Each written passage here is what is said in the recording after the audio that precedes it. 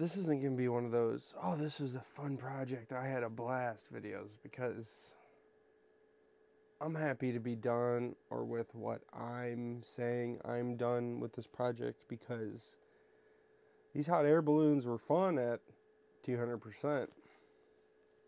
But at 50%,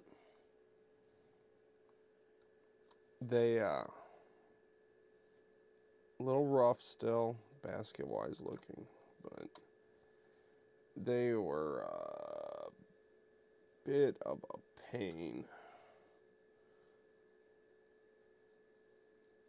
oh, and just so just i don't even want to don't mind this guy he uh he went for a crash landing But truthfully, the uh, torch just got them.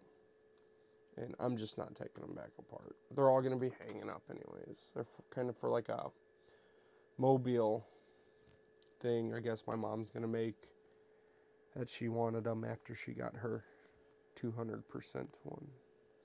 So, uh, this will be the first and last time you see me make the 50% ones because, uh, I I I don't want to do any more of these.